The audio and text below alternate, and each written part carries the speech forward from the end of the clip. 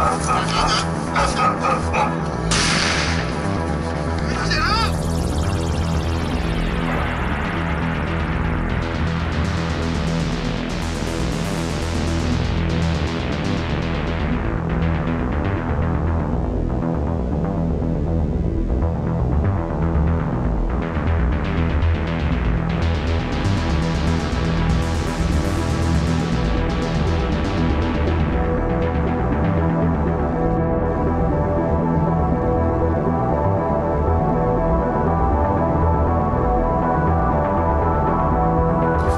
Daquele agente que está numa proporção de 50 ou às vezes 100 presos, está eu, superintendente da SUSEP, dando esse suporte a ele, está o aparato da segurança pública e o Estado do Rio Grande do Sul apoiando este servidor que está no meio de 50 ou 100 presos.